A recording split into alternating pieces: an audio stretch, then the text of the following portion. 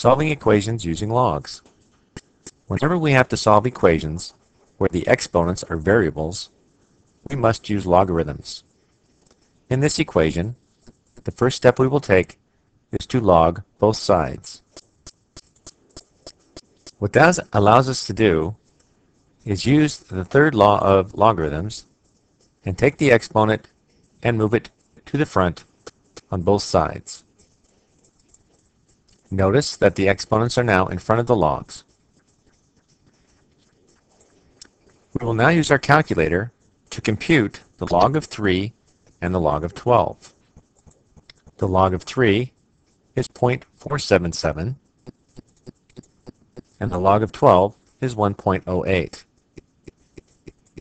We now multiply the number through the parenthesis where needed and we end up with the equation 0.477x minus 1.908 is equal to 2.16x.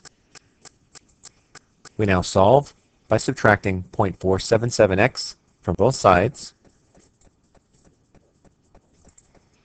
and we get negative 1.908 is equal to 1.683x. Dividing now both sides by 1.683,